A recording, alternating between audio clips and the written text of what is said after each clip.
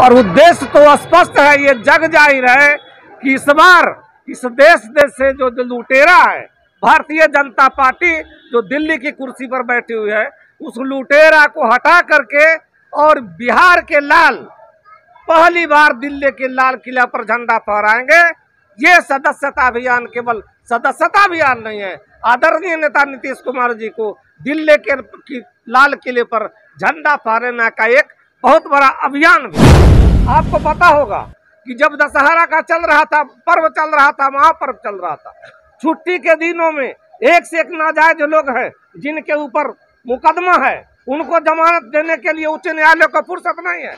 लेकिन छुट्टी के दिनों में क्या था, क्या उतावला था? क्यों बेचैन थे आप कि छुट्टी के दिनों में आप कोर्ट खोल करके माननीय उच्च न्यायालय का दरवाज़ा खुलता है और अति पिछड़ा के विरोध में फैसलाता है? जबकि चुनाव का पाँच दिन बचा हुआ था दो दिन बचा हुआ था।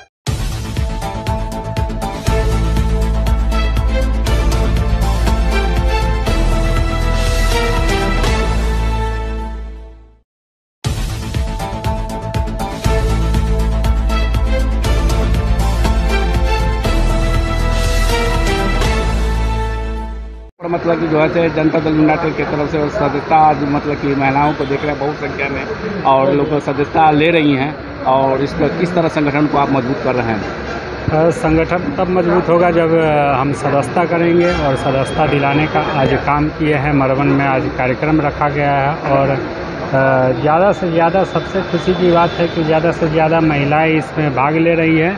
और माननीय नीतीश कुमार जी के विचारधारा से जुड़कर सभी लोग उनसे जुड़ रहे हैं। और ये चुनाव के लिए क्या मतलब कि जो है कुढ़ानी के लिए तैयार कर रहे हैं? ये आज तो चुनाव का कुछ है नहीं आज तो चुनाव से कोई संबंधित ही नहीं आज तो सदस्यता है और साथ में अ, अ, हमारे कांटी विधानसभा में कई दिन हो गए थे कि एक साथ मिल के हम लोग अ, एक सभा भी किया जाए तो दोनों एक साथ हो जाए हो रहा है।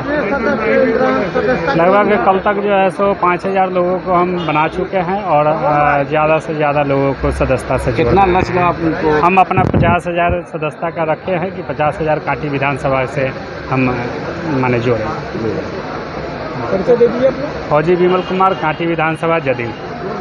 ग्रहण करें इसका उद्देश्य तो कुछ होगा ना? क्या उद्देश्य है आप लोगों उद्देश्य तो है कि प्रत्येक तीन वर्षों के बाद सदस्यता अभियान हमारे पार्टी का होता है।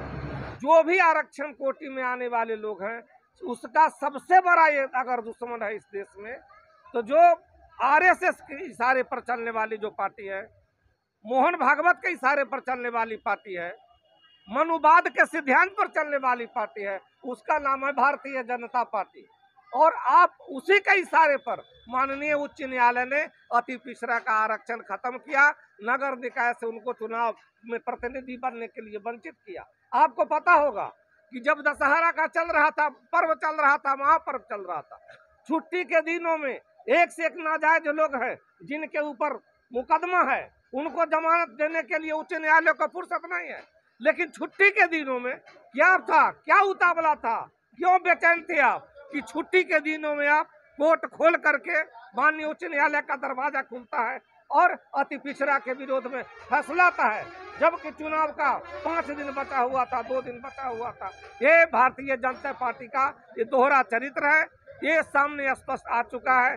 इसलिए आप लोग निश्चिंत रहिए, देखिएगा कि जब तक इस देश में हमारे आदरणीय नेता नीतीश कुमार जी हैं, तब तक हम, हमारे जो अति पिछड़ा के भाई है, उनके आरक्षण का कोई बाल बाका नहीं कर सकता।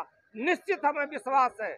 हमारे नेता गए हैं, माननीय उच्चतम न्यायालय में गए हैं हमें विश्वास है कोर्ट पर, निश्चित तौर से हमारे पक्ष में फैसला आएगा और नहीं फैसला आएगा तो पूरे बिहार में आंदोलन होगा और निश्चित तौर से ये भारत सरकार को अध्यादेश लाना होगा और अति पिछड़ा को आरक्षण देना होगा। सदस्यता अभियान कैंप है मरवन में और सदस्यता अभियान कैंप में स्वयं जो मरवन के इलाके की जो हमारी माँ बहने हैं, हमारे नौजवान साथी हैं, वो स्वयं आकर के सदस्यता ग्रहण कर रहे हैं। रामनाथ रमन पासवान, प्रदेश महासचिव जनता दल यूनाइटेड, संगठन प्रभारी मुजफ्फर। जो आपको दिखाता है, सच का आईना